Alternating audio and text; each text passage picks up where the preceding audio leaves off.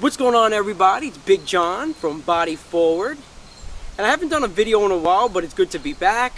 I'm here to stay. I didn't forget about anybody. I came back because I'm better, I'm stronger, I'm bigger, I'm faster. I love it. And I'm here to give you better information than I did previously. Now, part of why we exercise, part of why we eat right, it's to live longer. Let's not kid ourselves. It's to prolong death right? It's to be, it's to feel good when we're older. When we age, we don't want to feel decrepit. We don't want to, when we're 90, we don't want to feel like we're 90. When we're 90, I would rather feel like I'm 50 or 40. I don't want to feel like I'm 90, right? So part of exercise, part of fitness, part of eating right, part of living a healthy lifestyle is to slow down the aging process.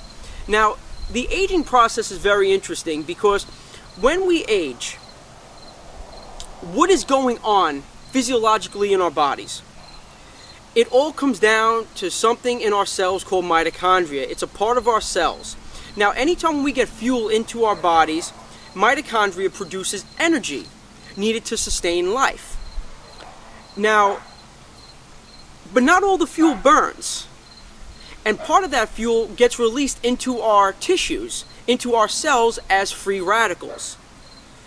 And the problem with free radicals is that free radicals are very unstable and they cause a lot of damage and cumulative damage over time.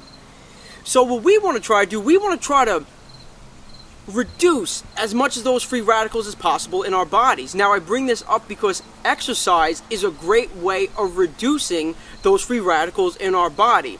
It actually it actually increases our ability to produce more mitochondria.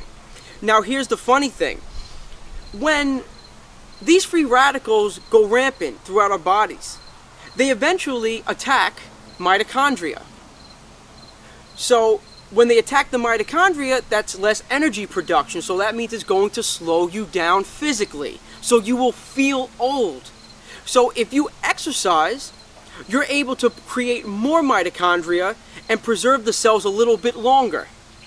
So it slows down that aging process and makes you feel rejuvenated at an older age. And when you see everybody else who's in their 60s and 70s who are slowing down and look like they're on their way out, you could still be physically active and feel better than they are.